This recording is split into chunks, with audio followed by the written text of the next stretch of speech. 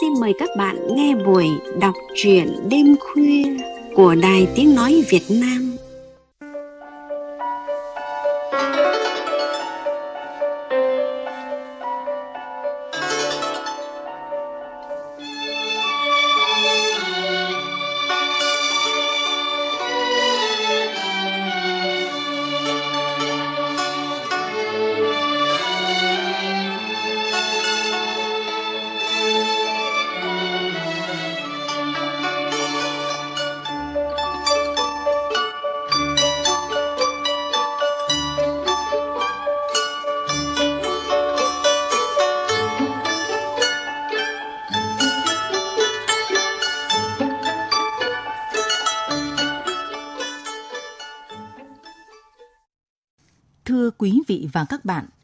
Nhà văn Xuân Mai, tên thật là Lê Xuân Mai, sinh năm 1945 tại Lập Thạch, Vĩnh Phúc. Năm 1982, tốt nghiệp trường viết văn Nguyễn Du khóa 1, sau đó là tổng thư ký, rồi phó chủ tịch, chủ tịch Hội Văn học Nghệ thuật Vĩnh Phúc. Vào Hội Nhà văn Việt Nam năm 1997, đồng thời là hội viên Hội Nhà báo Việt Nam, Hội Văn nghệ Dân gian Việt Nam – 40 năm viết lách, nhà văn Xuân Mai đã có một gia tài văn chương khá đồ sộ với 17 tập truyện ngắn, tiểu thuyết, truyện vừa, truyện ký và 3 tập nghiên cứu văn hóa văn nghệ dân gian. 5 lần nhận giải thưởng về sáng tác văn học nghệ thuật 5 năm tỉnh Vĩnh Phúc cho các tác phẩm Cụ Đông, Trận địa đồi sim, Làng bên sông, Giếng làng, Những người đang đi ở cuối hàng. Mặc dù tuổi đã cao, nhưng ông vẫn sáng tác đều những chuyện ngắn mang hơi thở cuộc sống đương thời. Chương trình đọc truyện đêm khuya hôm nay xin gửi tới quý vị và các bạn hai chuyện ngắn mới của nhà văn Xuân Mai. Đầu tiên là chuyện ngắn Khoảng trời riêng qua giọng đọc phát thanh viên Sơn Tùng.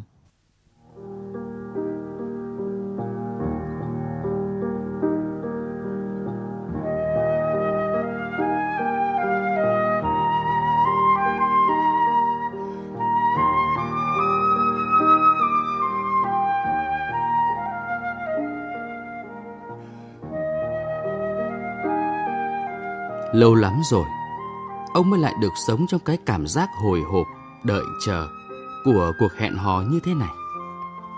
Thời trẻ, cùng người mình yêu đi chơi nhiều lần, nhưng ông nhớ nhất là buổi hẹn cuối cùng trước ngày ông lên đường nhập ngũ. Tối ấy, ông hẹn gặp người yêu ở cây si cổ thụ đầu làng, nhưng phải chờ rất lâu, người yêu của ông mới xuất hiện.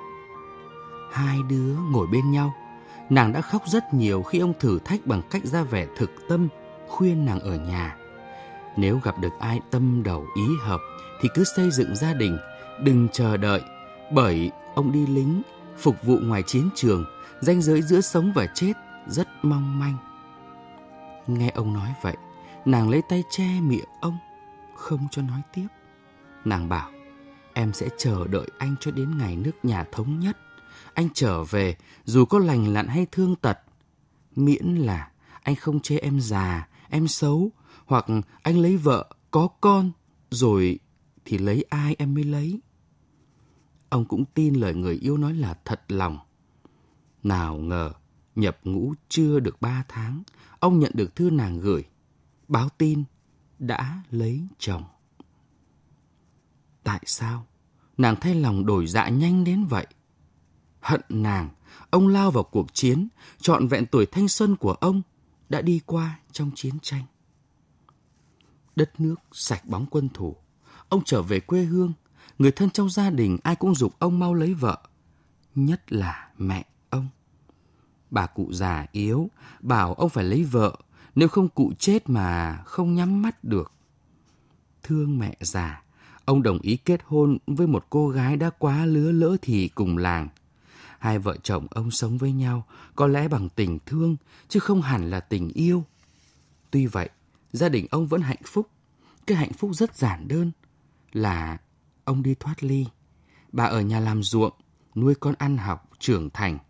Khi các con yên bể ra thất, tóc ông bà đều ngả màu bạc trắng. Gần một tháng trước, cậu con trai út công tác trên thành phố về chơi, có mua tặng ông chiếc điện thoại cảm ứng, có thuê bao 3G, rồi khuyến khích ông.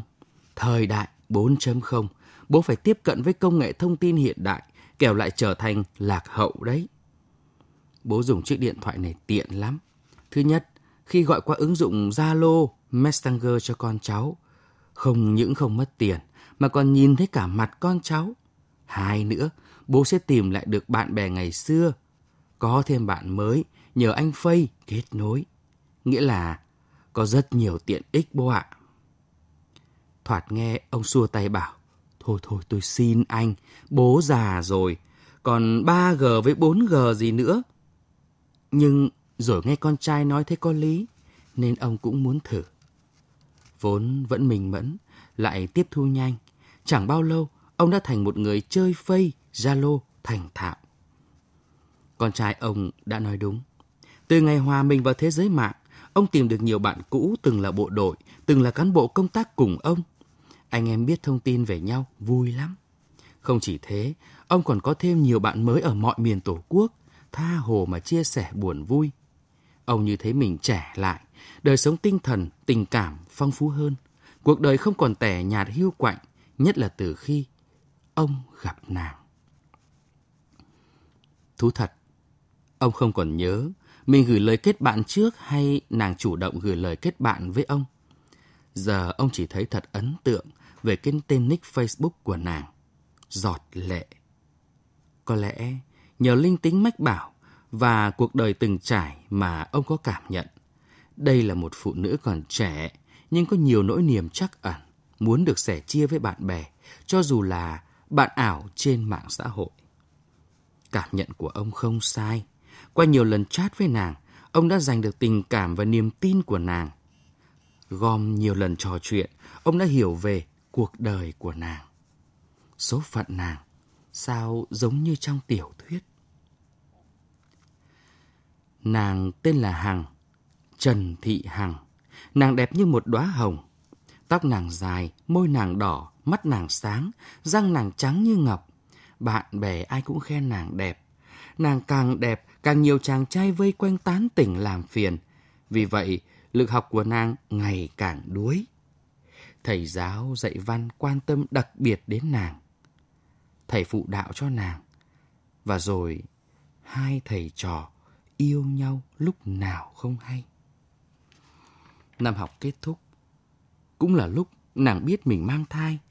Biết chuyện, bố mẹ nàng sợ tai tiếng với dân làng và ảnh hưởng tới chuyện chồng con sau này của nàng, nên đã gửi nàng ở nhờ gia đình người thân mãi trên miền ngược. Nàng sinh con, họ bố trí đem đứa trẻ ấy cho một cặp vợ chồng hiếm muộn và nhận 50 triệu đồng gọi là tiền bồi dưỡng sức khỏe cho nàng. Chuyện tẩy đình ấy được bố mẹ nàng thu xếp giấu nhẹm đi như chưa từng có chuyện gì xảy ra. Qua một lần sinh nở, nàng lại càng xinh đẹp và mặn mà hơn. Nàng tìm đến Phây để có cơ hội được trải lòng mình với mọi người. Hàng ngày những lúc rỗi rãi, nàng hay lên mạng và gặp được ông. Ông hút hồn nàng bởi hình ảnh đại diện của ông. Nàng biết ông là người đã có tuổi, nhưng vẫn đẹp trai và phong độ. Ông ăn nói có duyên, có lý, có tình, nên nàng yêu ông lắm. Nàng thú thật với ông như vậy. Ở cái tuổi đầu hai thứ tóc, các cơ quan đoàn thể trong người ông đã bắt đầu thoái hóa. Vậy mà lạ quá. Chỉ cần nàng nói như vậy đã khiến các bộ phận trong người ông lập tức như được kích hoạt. Ông thấy trong người hưng phấn, bừng thức dậy những ham muốn như mình đang ở tuổi đôi mươi. Ông mạnh dạn chát, thổ lộ với nàng. Anh yêu em. Ngay lập tức, nàng chát lại. Em cũng yêu anh. Được lượn trên cái khoảng trời riêng trong xanh gió mát, đầy mây nắng nhởn như bay. Ông cảm thấy mình như trẻ ra, trong lòng lúc nào cũng dạo rực phơi phới. Nhìn cái gì ông cũng thấy thật tươi đẹp, đáng yêu. Không biết nàng thế nào, chứ với ông, gặp bạn bè, ai cũng khen ông, dạo này nhìn trẻ và khỏe hơn trước. Không kiềm chế được tình cảm của mình, ông mạnh dạn nhắn tin, ngỏ ý muốn gặp nàng. Ngập ngừng một lát, Nàng trả lời ông, em đồng ý.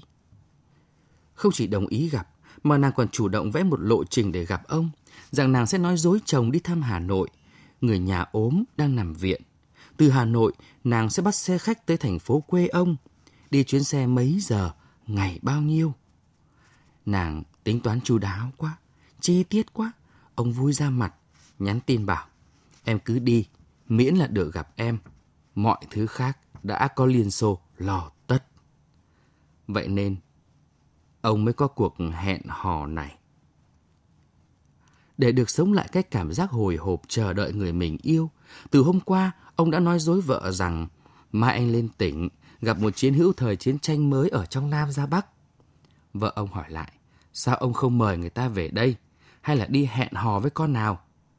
Bị bắt đúng mạch, thoáng lúng túng, ông vội lấy lại tư thế đàng hoàng. Bà cứ nghĩ vớ vẩn, mình từng nay tuổi rồi, còn được gái nó mê, đã quý. Bà im lặng, không cảm giảm ông thêm điều gì nữa. Và bây giờ, ông ngồi đợi nàng trong quán cà phê giọt đắng, nằm sát ngay điểm hẹn. Đây là nơi xe khách liên tỉnh chạy qua và là nơi ông đã nhiều lần vào uống cà phê với bạn mỗi khi lên tỉnh có việc. Làm như một người rảnh rỗi, ông nhấp từng ngụm cà phê bình thản nhìn ra ngoài đường, mắt kiểm soát không sót một ai. Ông cố tìm xem trong dòng người đang ngược xuôi hối hải kia có người phụ nữ nào đi bộ, tóc dài ngang vai, mặc chiếc quần duyên xanh, áo thun đỏ như nàng dặn ông nhớ để nhận diện không? Đã quá giờ hẹn, hơn một tiếng rồi. Sốt ruột quá. Ông bấm số điện thoại gọi nàng nhiều lần. Lần nào cũng vậy, không thấy nàng bắt máy. Chỉ có tiếng ai đó trả lời rằng thuê bao quý khách vừa gọi hiện không liên lạc được, xin vui lòng gọi lại sau. Ông bắt đầu hoang mang, rồi thắc mắc. Sao vậy nhỉ?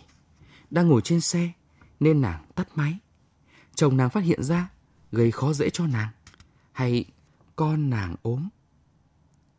Rất nhiều câu hỏi, và câu ông tự trả lời bao biện cho nàng, rồi lúc trách móc nàng, giận dỗi, tự ái, ông đứng lên trả tiền cà phê, đùng đùng bước ra khỏi quán. Đi được mấy bước, bỗng ông lại thấy thương nàng. Nhỡ nàng đến không gặp ông thì sao? Thôi, đã thương thì thương cho chót. Tự nhủ mình, ông kiên nhẫn đứng dưới gốc cây xà cừ gần điểm hẹn, tiếp tục chờ nàng. Chiếc điện thoại trong túi quần ông chợt phát ra âm thanh tinh tinh. Ông vội mở ra xem. Đó là tin nhắn nàng gửi. Xin lỗi, em không đi được. Rất mong anh thông cảm. Ông bấm máy gọi lại cho nàng. Nhưng nàng không bắt máy. Ông trưng hửng, sững sờ như người chết đứng. May mà lúc đó có một chiếc xe khách chạy qua.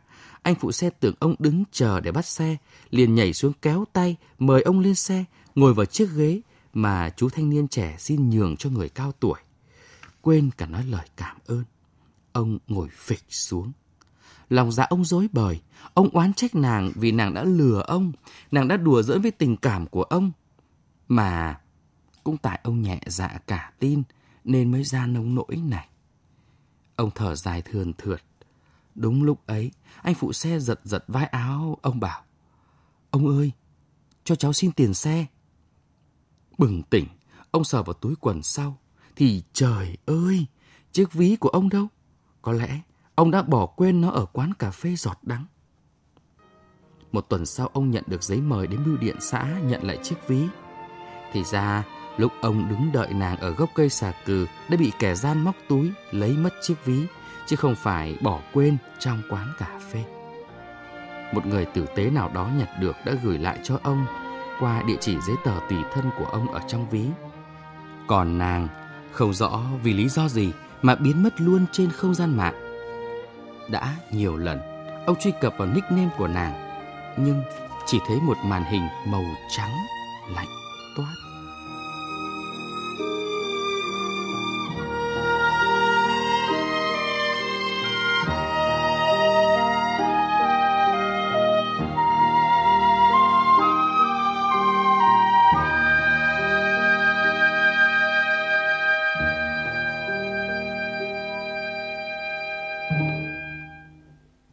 Quý vị và các bạn vừa nghe chuyện ngắn Khoảng trời riêng của nhà văn Xuân Mai. Sau đây biên tập viên văn nghệ có đôi dòng cảm nhận về chuyện ngắn này. Câu chuyện về người đàn ông đã có tuổi, về hưu an dưỡng tuổi già, nhưng bỗng một ngày nảy sinh tình cảm với một người phụ nữ còn trẻ trên mạng là chuyện xảy ra khá nhiều trong thời buổi này. Đó là nhu cầu cá nhân của mỗi người, không hoàn toàn đúng mà cũng chưa hẳn đã sai. Nhân vật người đàn ông có nhiều thay đổi tâm lý, sinh hoạt khi nảy sinh tình cảm ngoài luồng ấy. Dẫu chỉ là tin nhắn, chat với nhau qua mạng, nhưng nó có sự tác động rất lớn đối với ông. Cảm giác muốn được một người chia sẻ, chăm sóc, quan tâm, nhất là tuổi già là nhu cầu chính đáng. Nhưng câu chuyện đã kết thúc khá bất ngờ khi người đàn ông muốn gặp trực tiếp người phụ nữ ấy.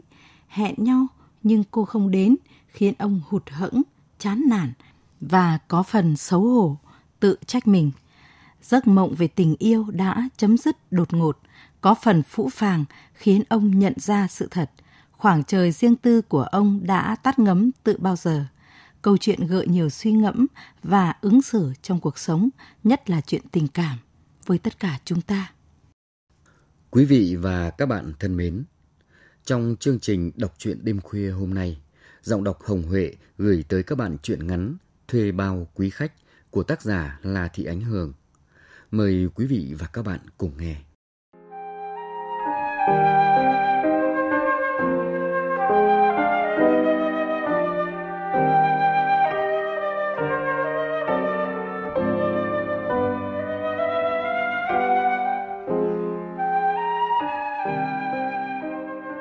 Quân gọi điện thoại, hỏi Thùy có ở nhà không, Quân sang. Khi đó Thùy đang thử thãi thời gian, chẳng biết làm gì cho hết ngày. Dạo gần đây, Thùy hay rơi vào tâm trạng chán chẳng muốn làm gì, mà càng ở không lại càng chán. Càng chán lại thấy ngày dài. Lần quẩn mãi không thoát ra được, một đứa bạn khuyên Thùy. Đến trung tâm tư vấn tâm lý đi, chứ tao nói mày chẳng nghe, vừa mệt vừa hao nước miếng. Đồ keo kiệt, tiết kiệm với Thùy cả cái thứ chẳng quý báu gì. Thùy cũng từng đến trung tâm tư vấn trong một trạng thái khác. Cứ tưởng khi đó là nguy kịch nặng nề nhất trong cuộc đời, không thể vượt qua nổi. Sau này, Thùy mới nghiệm ra cái tính quan trọng hóa vấn đề nó hại Thùy. Lần nào Thùy cũng nghĩ, chết rồi, lần này quá sức chịu đựng rồi. Chuyên viên tham vấn tâm lý là một người trẻ măng, có khuôn mặt baby mà thoạt nhìn, Thùy nhớ ngay đến hình ảnh thằng út nhà Thùy mỗi lúc nó hăm hở cầm cái đùi gà nóng hổi vừa được lấy ra từ nồi cháo. Và cũng tự dưng Thùy không còn có hứng thú chia sẻ gì với thằng bé ấy. Không khéo vấn đề của chuyên viên còn nặng hơn của khách hàng thì mệt. Thùy bỏ về không để lại lý do. Lần này Thùy không đến gặp chuyên viên mà gặp cha xứ. Đúng hơn thì Thùy đi dự lễ ở nhà thờ. Tan lễ, Thùy chưa về ngay mà lang thang trong khuôn viên sân vườn để làm một việc, đến xem tối nay có mấy nụ quỳnh nở. Công việc này khiến Thùy thích thú một cách kỳ lạ. Dù rằng cái khoảnh khắc ngắn và đẹp nhất của một bông hoa ấy, Thùy đang khò khò trên giường rồi. Vậy mà mỗi lần đếm nụ hoa, Thùy vẫn hớn hở như thể bụi hoa đó đang ngự trị trong chính căn phòng của mình. Đến bụi quỳnh cuối cùng, cạnh ghế đá, nơi có bức tượng Đức Mẹ bằng gỗ, vị cha già nở nụ cười hiền hậu. Mùa này hoa nở nhiều phải không? Thùy giật nảy mình. Tại sao cha biết Thùy đang đếm hoa? Vị cha như nhìn thấu tâm can Thùy, đọc được cả thắc mắc ấy qua ánh mắt tròn xoe của Thùy. Ông nói thật chậm. Con biết không, nơi góc vườn này mang tên Bình Yên đấy. Mắt Thùy tròn to hơn, giọng cha ấm áp. Đúng vậy, ông chỉ tay về phía ngã tư. Con thấy đấy, ngoài kia là phố phường nhộn nhịp, trên gương mặt người đầy những lo toan, sầu khổ, ghen ghét, oán hận. và cánh cổng nhà thờ đã ngăn cách chúng với con người. Đấy, nơi đây không mang tên bình yên thì là gì?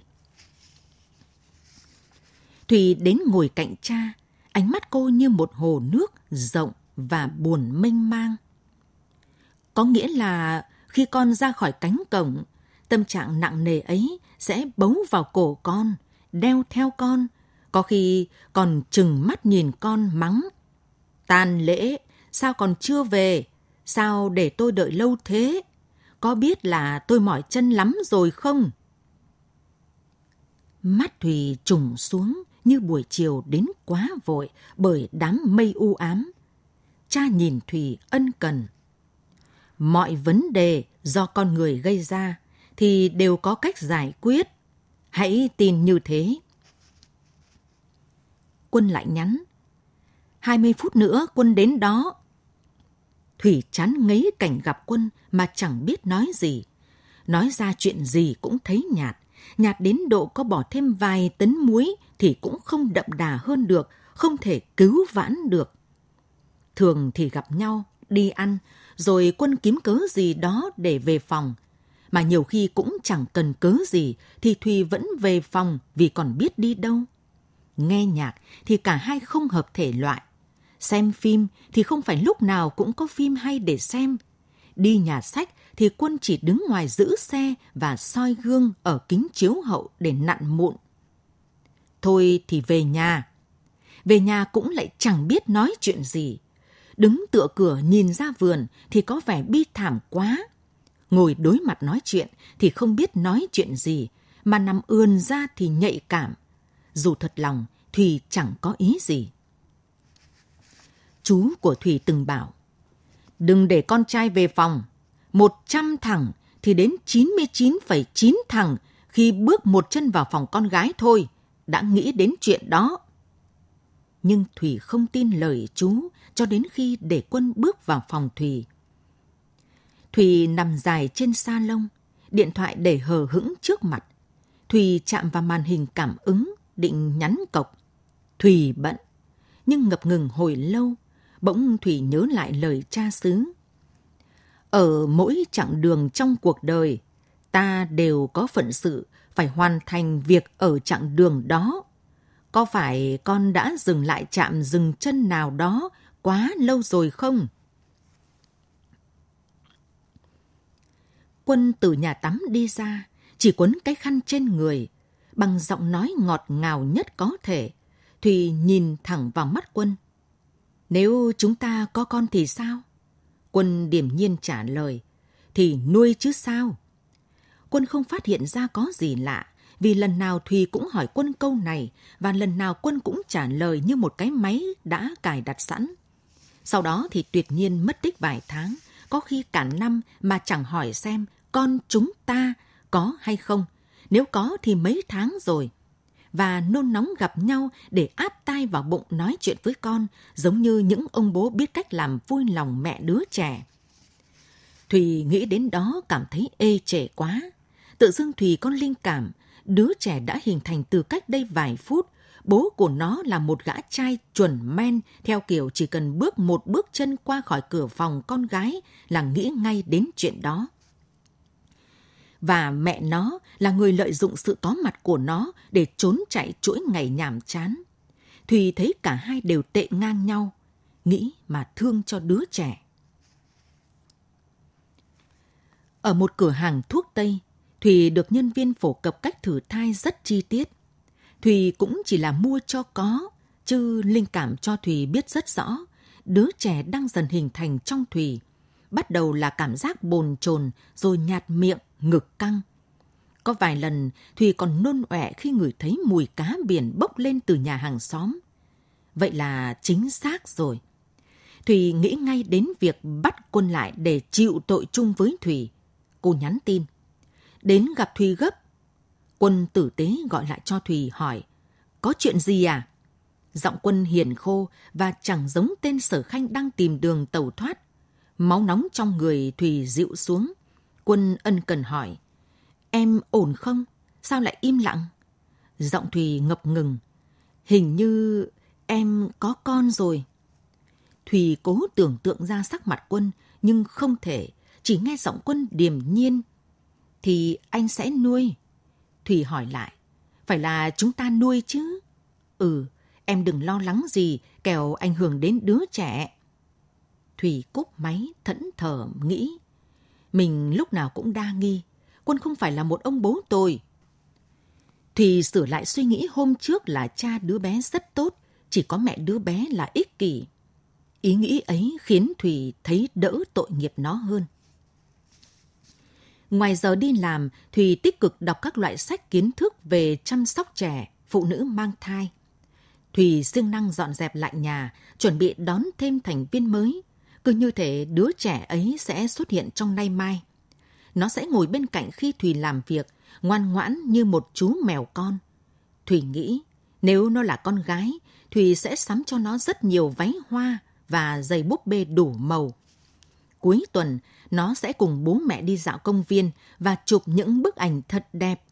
Nếu nó là con trai, hẳn sẽ cao giáo và đẹp trai giống quân. Tính tình của nó chắc cũng ngoài lạnh trong ấm, tỏ ra đầy bí ẩn như quân để khối cô gái chết mê chết mệt. Nhưng là con gái hay con trai thì phải chờ hơn 3 tháng nữa mới biết được. Trong thời gian đó, Thủy có khối việc phải làm. Trước tiên là việc đối phó với người thân. Ở quê Thủy, không chồng mà sinh con gọi là chửa hoang. Khi đó, nỗi ô nhục của cha mẹ không có gì sánh nổi. Họ sẽ thất vọng như thế nào về Thùy, đứa con mà họ đặt niềm tin tuyệt đối. Ngày Thùy vừa mới tốt nghiệp đại học, họ đã hối thúc Thùy lấy chồng tổ chức đám cưới đàng hoàng để còn nở mày nở mặt với xóm làng. Khổ thân họ, vì từ trước đến nay Thùy chưa nghĩ sẽ ràng buộc người đàn ông nào bằng tờ giấy hôn thú. Còn tiệc cưới, dưới cái nhìn của Thùy, đó chẳng khác nào hình thức tra tấn tập thể. Thùy phải làm sao để họ chấp nhận việc Thùy không chồng mà có con? Hay là Thùy khỏi về nhà trong suốt thời gian ấy? Cũng chỉ độ vài tháng cuối thai kỳ thôi mà, còn lại thì vẫn về bình thường. Cùng lắm, Thùy khoác thêm cái áo khoác bên ngoài. Kế đến, Thùy phải chuẩn bị tinh thần đối phó với dư luận chung quanh. Thùy không có ý định giấu giếm cái thai. Đứa trẻ chẳng có lỗi gì. Chưa ra đời đã phải trốn chui trốn nhủi thì tội nó quá. Rồi mọi người sẽ hỏi cha đứa trẻ là ai? Thùy nên khai quân hay để lấp lửng cho xóm nhiều chuyện trong công ty có đề tài để ban. Khi đó, tất cả đàn ông từng quen biết trò chuyện với Thùy đều nằm trong danh sách thủ phạm.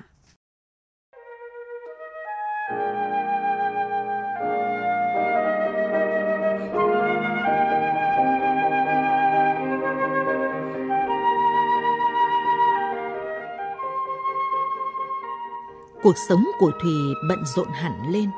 Những nỗi lo lắng cũng rõ ràng chứ không mờ ảo như ngày trước – Chúng như một đoàn quân hùng dũng tiến lại gần Thùy, mạnh mẽ và đông đúc.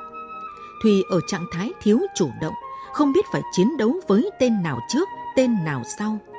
Thùy nhớ lại có đọc trong một cuốn sách nào đó, việc người mẹ stress sẽ ảnh hưởng rất nhiều đến tinh thần thai nhi. Thùy cầm điện thoại gọi cho quân. Hồi chuông đổ dài, Thùy gọi thêm lần thứ hai, thứ ba vẫn là tiếng nhạc chờ đều đều đến lạnh lùng ấy. Sao bỗng dưng tình yêu của Thùy dành cho đứa trẻ mới hôm qua còn đầy đặn, nay đã vơi sọp đi thế này? Thùy nghĩ, nếu quân biến mất, có khi Thùy không còn hào hứng gì với đứa trẻ nữa. Nhưng quân không biến mất mà gọi lại cho Thùy, vẫn cái giọng điềm nhiên như không có chuyện gì xảy ra ấy. Có chuyện gì không em?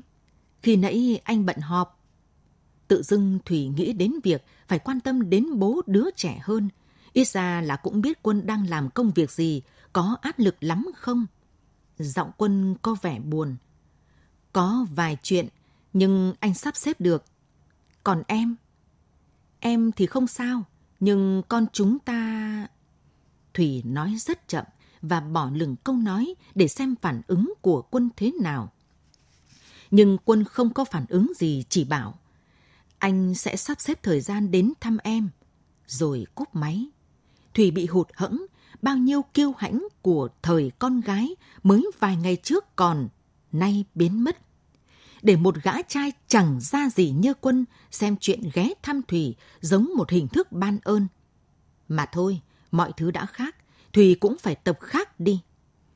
Thùy định nhắn hỏi quân, anh yêu con của chúng ta chứ? Nhưng thôi, vì biết luôn câu trả lời của quân, đương nhiên rồi. Thùy chọn lọc ra một câu hỏi cụ thể hơn để nhắn cho quân. Anh sẽ đến ở cùng với mẹ con em chứ? Bao giờ quân cũng trả lời tin nhắn rất nhanh. Nhất định rồi, chúng ta là một gia đình mà. Thùy vẫn chưa yên tâm hỏi tiếp. Bao giờ anh tới? Tin nhắn ấy không được gửi đi vì Thùy thấy như vậy là lụy tình quá, hạ thấp mình quá, ràng buộc quân quá. Dù gì cũng phải giữ lại chút kiêu hãnh chứ. Sự kiêu hãnh còn sót lại trong Thùy tồn tại thêm đúng ba ngày. Sáng của ngày thứ tư, Thùy nhấc máy gọi cho quân, nhưng điện thoại chỉ phản hồi lại bằng giọng nói quen thuộc. Thuê bao quý khách tạm thời không liên lạc được. Lần nào cũng vậy, rơi vào tình huống này, Thùy không thể nghĩ là quan theo kiểu máy hết pin, quân tắt máy vì bận họp, đi đến nơi không có sóng, vân vân được. Thùy luôn nghĩ bi quan. Quân đã cao chạy xa bay. Đã bao nhiêu lần quân bị nghi oan bởi suy nghĩ ấy của Thùy, nhưng lần này là thật, quân đã rời khỏi thành phố. Thùy buông thõng người xuống sa lông sau khi xác thực điều đó từ một mối quan hệ uy tín. Vậy là viễn cảnh chụp ảnh gia đình ở công viên không thực hiện được. Vậy là Thùy sẽ phải đối đầu với hoàn cảnh làm mẹ đơn thân. Và tủi nhục nhất là Thùy bị một đứa chẳng ra gì bỏ rơi trong lúc đang mang giọt máu của hắn. Thùy thấy mình bị tổn thương thật sự. Ý nghĩ ấy khiến Thùy muốn nổi loạn. Nhưng bằng cách nào? Quăng ném đồ đạc, gào thét thật to, ngửa cổ tu hết một chai rượu. Tất cả hành vi đó dường như không cân xứng với tâm trạng Thùy hiện tại. Thùy chọn cách im lặng và quan sát thái độ của chính mình. Đó cũng là phản ứng quen thuộc của Thùy mỗi khi gặp chuyện buồn. Thùy nhìn quanh căn phòng rất ngăn nắp và ấm cúng của mình. Trên tường đã treo những tấm ảnh trẻ em rất dễ thương. Một đôi giày bằng len xinh xinh thủy mua hôm đi siêu thị. Con gấu bông bé xíu. Mắt thủy dừng lại ở dụng cụ thử thai. Cô cầm nó, đi vội vào nhà tắm. thủy bước ra từ nhà tắm, cô không có thai. Bỗng Thủy thấy cô đơn quá. Cả đứa trẻ chưa kịp hình thành kia cũng bỏ Thủy mà đi. Thủy thấy áy náy với đứa trẻ vì mình đối xử với nó tệ quá. Thùy chẳng giống những người mẹ yêu thương con vô điều kiện. Chưa gì đã có ý nghĩ sẽ bỏ rơi nó nếu quân đối xử tệ với Thùy. Ừ, thì Thùy công nhận từ đầu rồi, Thùy là người mẹ ích kỷ mà. Nhưng nó có tội tình gì mà phải sống với một ông bố không ra gì và một bà mẹ ích kỷ chứ? Chi bằng nó đừng đến trong cuộc đời này. Ý nghĩ ấy kéo cô về với khoảng trời tươi sáng vừa mới bừng lên trước mắt.